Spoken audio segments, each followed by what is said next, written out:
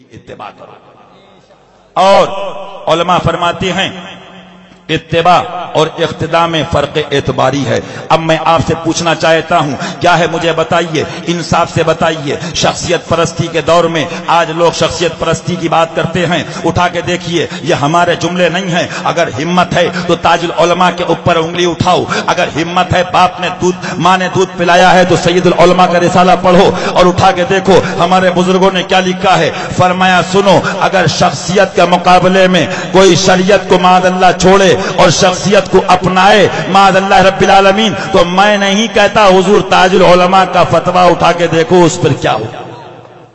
آج کان کھول کے سن لو اچھی طرح سے۔ ایک بات اور آتی ہے۔ بہت غور سے سننا۔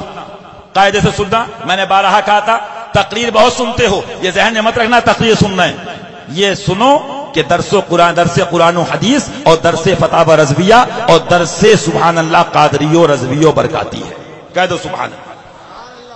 اب ایک بات بتائیے صاحب، اس ہندوستان کی تاریخ میں آپ اٹھا کے دیکھیے، حضور مظہر اعلی حضرت جس زمانے میں تنہے تنہا فرماتے رہے، بھائیوں، ہندوستان ہمارا ہے، ہم ہندوستانی ہیں، کدھر بھاگتے ہو؟ لیکن بھاگ کیوں رہے تھے؟ ٹوپی دیکھ رہے تھے۔ امامے دیکھ رہے تھے۔ شخصیت دیکھ رہے تھے۔ میری باتیں یاد رکھنا جنہوں نے ٹوپی دیکھی امامے دیکھے شخصیت دیکھی وہ پاکستانی بھی برباد ہو گیا اور پاکستان بھی برباد ہو گیا۔ جنہوں نے نہ ٹوپی دیکھی نہ بوٹی دیکھی بلکہ خواجہ کا ہندوستان دیکھا اور مصطفیٰ کی شریعت دیکھی۔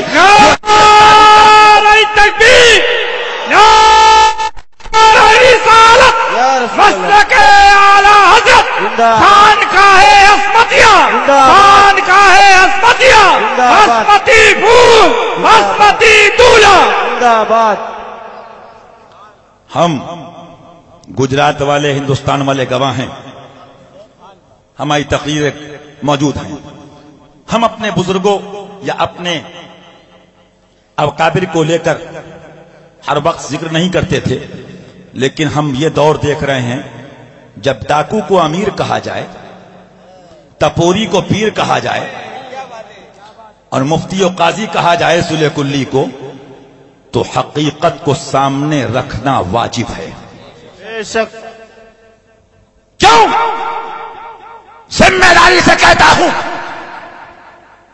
اگر مظہر اعلی حضرت وہ رضا کا شیر اس ہندوستان نہیں قاضی مکہ سے لے کر نو سالیوں گجراتوں گونڈر سے لے کر اگر کے پیغام کو عام نہ کرتا اور اس انداز شیرانہ سے ایک حقیق طالب باطل نہ کرتا تو نہ ٹوپی دکھتی نہ ٹوپا دکھتا۔ فیضان مظہر اعلی حضرت۔ فیضان مظہر اعلی حضرت۔ گستاخ مظہر اعلی حضرت۔ گستاخ مظہر اعلی حضرت۔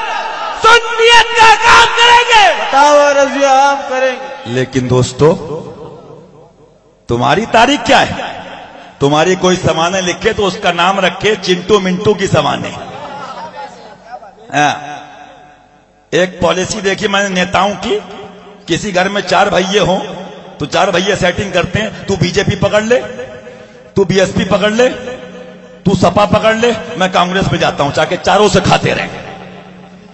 یہ چنٹو منٹو کی سمانے یہ ہے، ایک نے مدنی ٹی وی پاکستان میں پکڑ لیا ایک نے بریلی کے ٹکڑے کھا کے اسید الحق کو پکڑ لیا اور جو بچا تھا تو وہ چنٹو تو ادھر گیا اور منٹو نے اتار کو پکڑ کے اتاری بن گیا۔ اس اتاریت کی مار پڑی کہ کبیر تو کبیر اب صغیر بھی کہلانے کے لائق نہ رہا سنا، پھر بات وہی آتی ہے۔ تم ہم سے ٹکراتے، ان سے ٹکراتے کچھ نہ ہوتا، لیکن رضا کے شیر سے ٹکراؤ گے تو یہ تو خالی دنیا ہے۔ مر کے بھی چین سے سکتا نہیں مارا تیرا۔ للکار ہے للکار ہے۔ پیر کی للکار ہے۔ للکار ہے للکار ہے۔ ارے دیکھو دیکھو کون آیا۔ سن